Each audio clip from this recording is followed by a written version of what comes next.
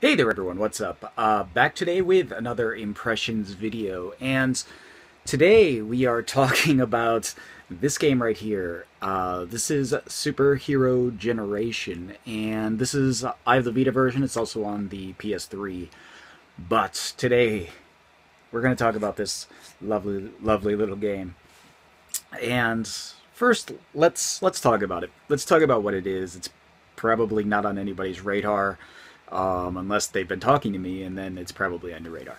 But Superhero Generation is a part of the Compati Heroes uh, series, kind of a series. Um, you might, if you've been watching my channel for a while, you know I've talked about the series before because I've talked about games in the series before, like the awesome, awesome Lost Heroes on the 3DS and the PSP. Um, I talked about Great Battle Full Blast, also in the series. But there's a ton of games in the series, and there are all these weird genres. But this is the first game in the Compati Heroes series that is a strategy RPG. And, you know, there's been all types of games. There's been platformers and kind of isometric action games and racing games and regular turn-based RPGs and all types of games. It's just crazy the amounts.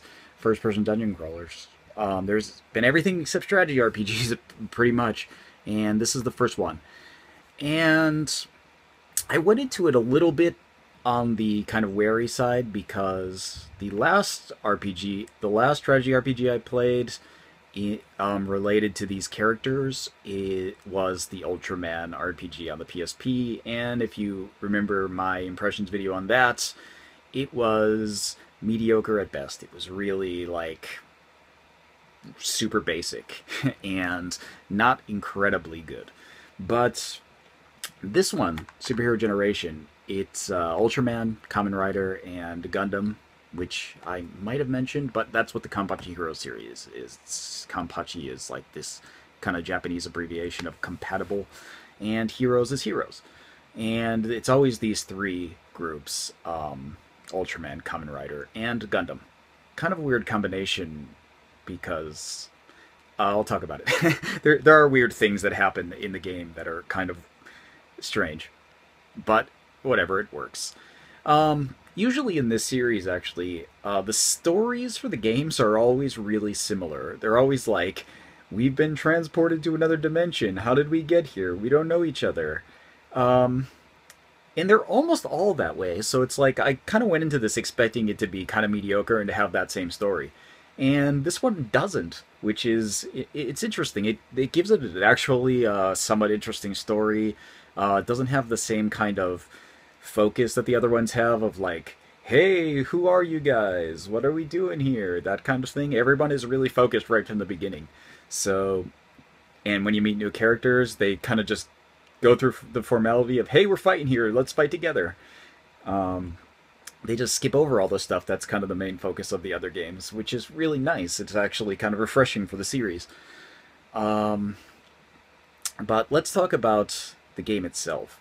It's a strategy RPG, which I mentioned, um, and it's based apparently on the G Gundam Generation games, uh, the recent ones at least. I have a G Gundam Generation game on the Saturn, uh, and it's like a hex-based. It's a hex-based strategy game. It's not like this game at all, and but apparently the later ones are the same system, and they're made by the same company. But uh, what is the name of the, the developer? Is like Tom Company or something. It's like something like that, Tom. And uh, it's not written on the box actually, but it's like Tom Company or something like that. And um, they they do the G Gundam Generation games, and the recent G Gundam Gener Generation games are apparently just like this. The playstyle is similar, so if you've played those, you'll kind of understand how this game works. But if you haven't, let me explain. It is a strategy RPG. It's grid-based, not hex-based. Um, and it does some interesting things. Uh, the strategy RPG elements are pretty much the same as, you know, what you'd imagine in a strategy RPG. You move your guys on a grid, you get in within range, and you attack. Back and forth. That's how strategy RPGs work. That's the genre. But this one does some things that um, I think other strategy RPGs don't do well.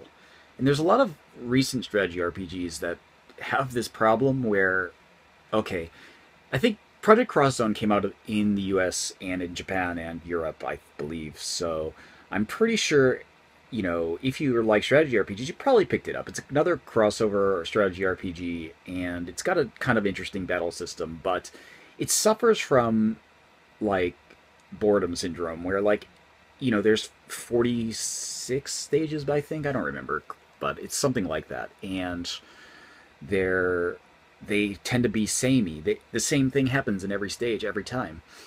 And there's very little things where you have like a different kind of objective to do or something that's like differentiate, differentiates the stage from the other stages you played besides the enemies you're fighting. Um, and this game doesn't fall into that. It does a really, really good job of making the stages different and making each stage playable in a way that it doesn't feel like the same game. I mean, it feels like obviously it's the same game, but it doesn't feel like the same stage over and over again. And it's really interesting actually because the stages are split into there's like three kind of main chapters, I guess you could say. It's, it's three part storytelling. That's the uh, three three chapters. That's the uh, three three acts. That's the kind of standard adventure story, right? But you have your three act story here, and it's split into each act is split into three sections, and then there's kind of a bridge section. And you have this kind of three acts that are split between each character type. So you'll have like three stages in common in a Kamen Rider story, and then three stages in an Ultraman story, and three stages in a Gundam story. And the enemies are usually themed towards that, and the characters you meet are themes towards each group. And you can, when you're in the chapter, you can select between those stages like at will. So you can kind of enter, you know, if you want to do the Kamen Rider story, you enter the Kamen Rider chapters, and then you have to do all three. You can't switch out after that, but so you can, but you can do them in any order. So if you like Kamen Rider more, maybe you want to use more Kamen Riders. So you go into the Kamen Rider stage first and recruit Kamen Riders faster, and they'll be more uh, you know apt to be leveled up as you go through the game so the way that works is really good i think like you get new characters all the time you get new characters right up until almost the last stage so you're they're always introducing new characters and in, in, in interesting ways too it's not like you just show up to the stage and there's new character sometimes it's like that but sometimes it's not sometimes like you you um, have to unlock characters doing special quests, or sometimes you have to uh, do something special within the game to, well, within the stage to get the character to come to your side. Sometimes they're first enemies and then they'll join you. And you've got a lot of interesting ways that that works. So the game is like really good at uh, keeping things fresh and in staying away from that kind of repetitiveness that games like Project Cross Zone have. Um, and it stays away from being bland like a lot of other games, like that Ultraman game was, for example, by you know having. I mean, first it has really nice artwork. There's like, uh, you know, there's 3D animations for each attack that each characters have. There's, um, and you can skip them. After a while, you'll just be skipping them. But, um, you know, they put a lot of effort into the attack, so you can see all the uh, ways the enemies fight. It's pretty it's pretty neat. I would recommend if you're gonna play it, I'd recommend watching all of the battle scenes at least once for each move because sometimes it's really cool.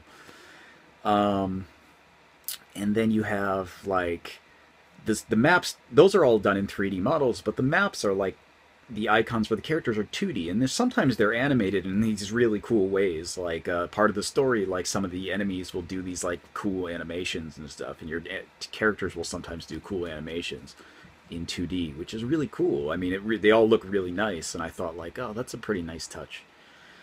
Um, the battle system is you know your standard kind of thing as you level up the characters they get more abilities. So you have skills and you have attacks. And the skills are things like you know raise power or raise movement or you know there's various things heal or damage enemies or whatever. And you have um, you know various attacks that have different effects. So sometimes sometimes you have normal attacks, and then you have attacks that are like pierce attacks, I'd say, where they they kind of negate some of the enemy's armor. And then you have like area attacks that'll like attack a small area, and then you have like multiple attacks that'll attack multiple enemies, and you have um, attacks that give status effects like movement down or defense down, attack down, that that kind of thing. So you have a lot of different attacks and a lot of they all have a varied kind of attack range. So sometimes like you can get to attack positions where you'll be able to attack enemies and they won't be able to attack you. It's part of the strategy of the game.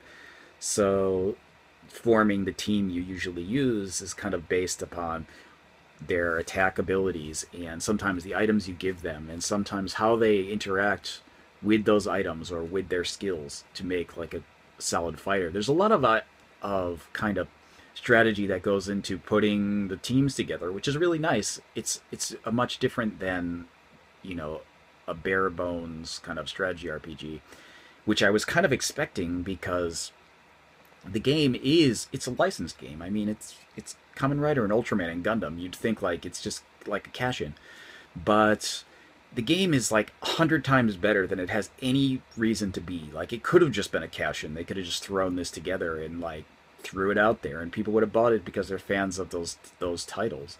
But like Lost Heroes before it, it's spectacular. Um, I'd go as far to say it's probably one of the best strategy RPGs I've played in recent memory, maybe ever. it's it's really good. Um, I can't stop playing it actually. Um, I I beat the game and I've been going through. There's a bunch of challenge stages to do afterwards. Um, after you beat the game, it unlocks um, something they call hell stages, which is like um, increased difficulty versions of previous stages. So like um, you can go through the entire story again in the hell stages and they'll be slightly different and there's um, you know the, the enemies are tougher. They do more damage they have more health. So it's more tailored towards somebody who's beat the game already because you need higher level characters. And there's a bunch of uh, you know the challenge stages have that same kind of difficulty where you have three levels of difficulty you have I think it's normal, hard, and ultimate is the difficulty levels, but each each challenge stage has those, and I'm still working through those. I haven't finished them all yet because I'm trying to do, you know, you have to play each one three times.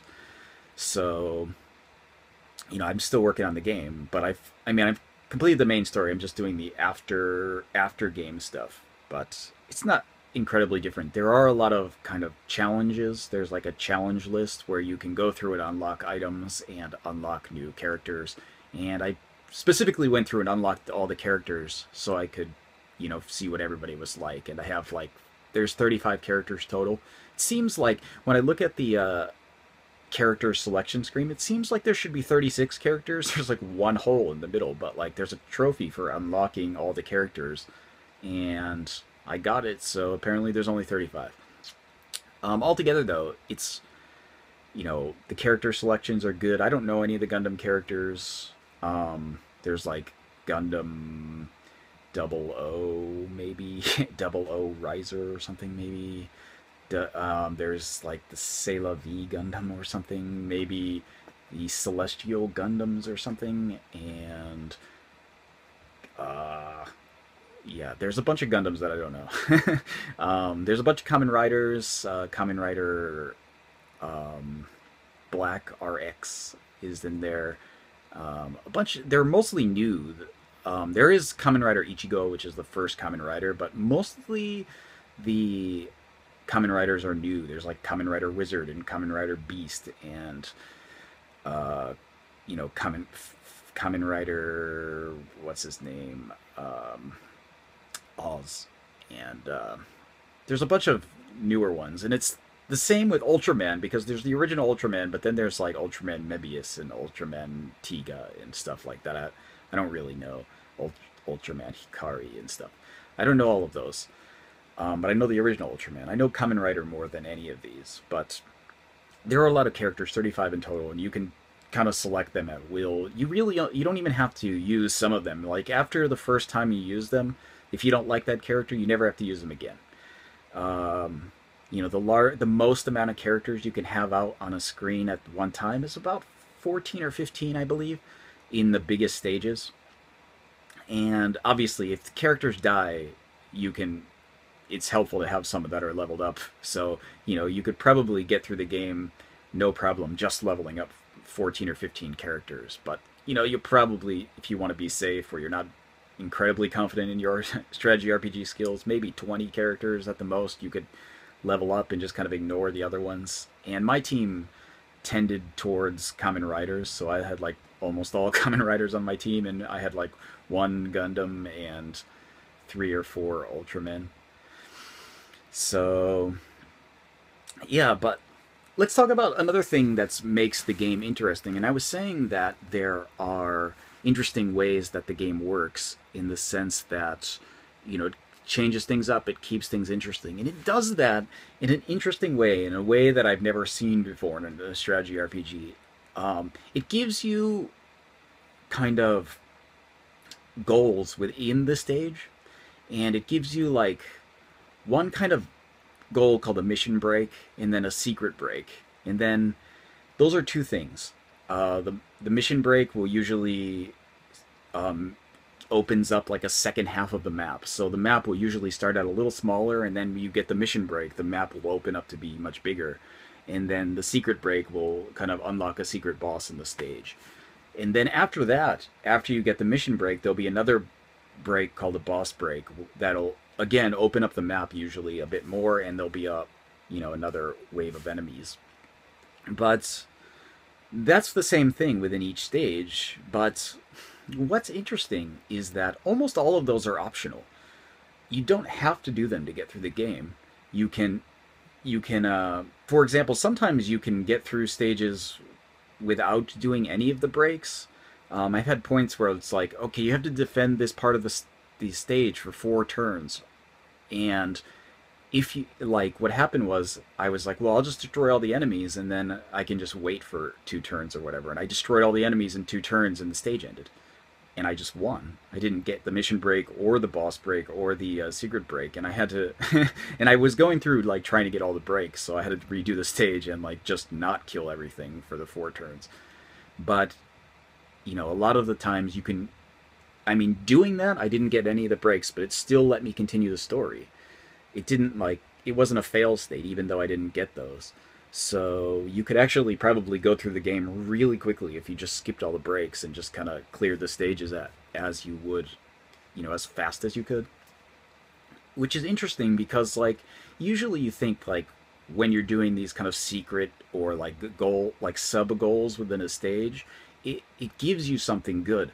Like, you think, well, oh, okay, if I do, you know, the main goal is to, you know, get to this get to this area in six turns. And then there'll be like the secret break, which will be like get to that area in five turns or something like that. And you'll find that like, you know, you get to that area in five turns and, and you think like, oh, I get something awesome. But what you get is like more enemies. so like what happens is the it, it's not it's like it's almost like the game gets your your goal for uh your your prize for meeting the goal is like surprise, more enemies that are more difficult. it's like not it's not like a prize at all. It's just like more more stuff, huge respawn of enemies or whatever.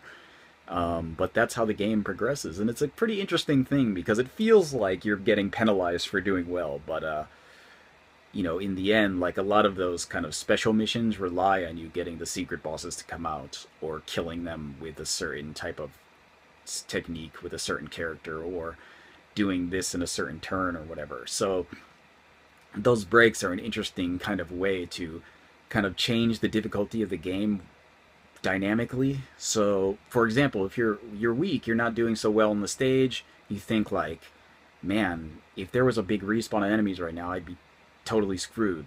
Well, okay, then I won't get the secret break, or I'll just skip the boss break and I'll just kill everything and finish the stage and come back later when I'm more leveled up or whatever. You can do that.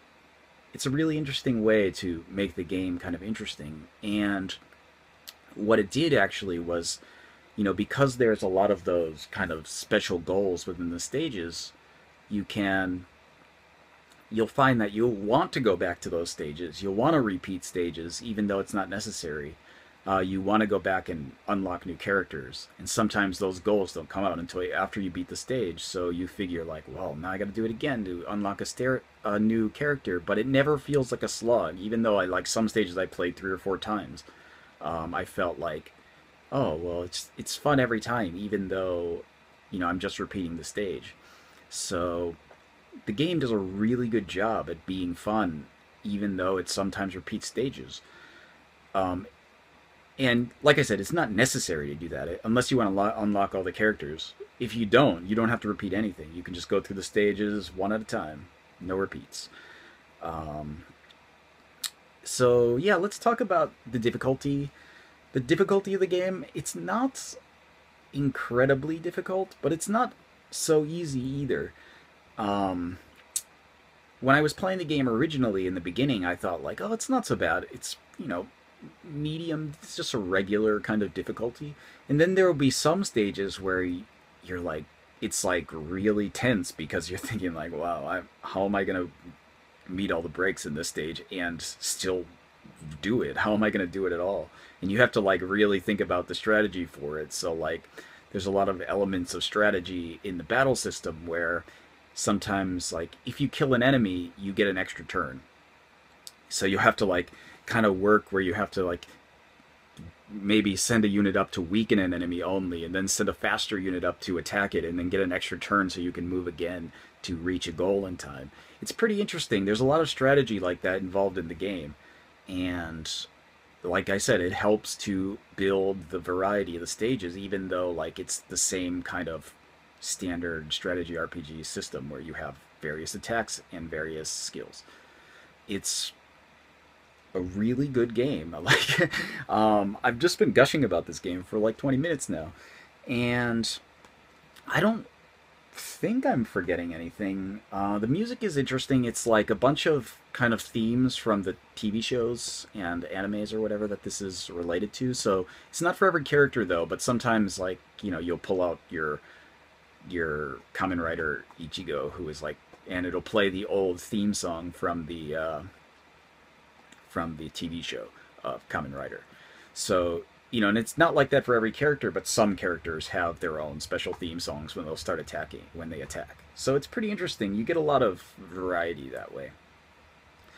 But yeah, overall, buy this get this. I don't care. Um, I, I would say it's really hard. It would probably be really hard to play without Japanese, um, unless there is like somebody who has translated just the the uh, mission breaks, secret breaks, and boss breaks for each stage.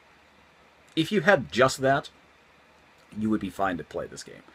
Um, it's not. Uh, it's not hard otherwise to just kind of go through the state through the kind of skills and things that everybody has. It wouldn't be a problem. So yeah it's like a overall spectacular strategy rpg um, i would recommend this to anybody who likes strategy rpgs and if you didn't like strategy rpgs like uh, probably it's not for you. But if you're just kind of iffy on strategy rpgs like you've never you you kind of enjoy them sometimes, this game will be like something you'd want to play because it's such a good strategy RPG. It's like the kind of game that could get you to like the genre, I think.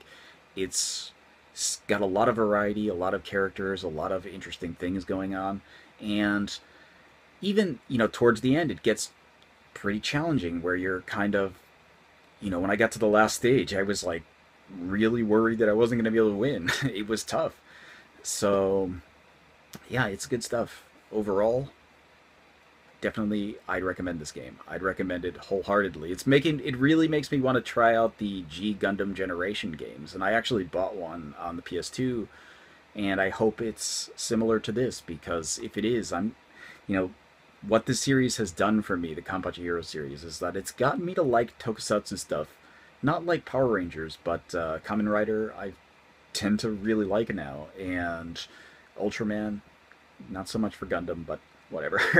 um, Oh yeah, that's what I wanted to mention. One more thing was that like sometimes the settings are a little weird where you have like the Gundam stages are they're sometimes in space and it's a little strange because you know, they kind of walk around in space and it's weird because like it's not weird for the Gundams to be in space. It's weird for Gundam Riders to be like kind of walking around in space fighting Gundams. Um maybe not. I'm I'm not not so much for Ultraman. It seems like Ultraman would be flying in space for some reason, but um, Kamen Rider weird in space. That's like that's the, like the only thing that makes like the Gundam crossover weird to me. Like Ultraman, okay, I can kind of see it. Um, Kamen Rider and Ultraman, I could see that crossover, but I don't know how Gundam works in there. But there it is. It's probably just because it's a license for that uh, uh, Bandai Namco owns whatever. But anyway, I'm going to end this because I think I've said all I needed to say, uh, and this video is really long already. But yeah, definitely if you sounds interesting to you, get this. It's so good. Uh, and I'm going to continue to play it. I've finished um, most of the stuff in the game, but I'm probably to play through everything, all the ultimates, all the uh, ultimate level challenge stages, and the uh, hell stages. I'll do all of those because I just can't stop playing it. So yeah, that's it. See you guys next time.